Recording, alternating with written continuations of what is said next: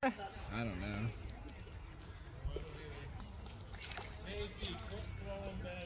Oh crap. I just headshot him.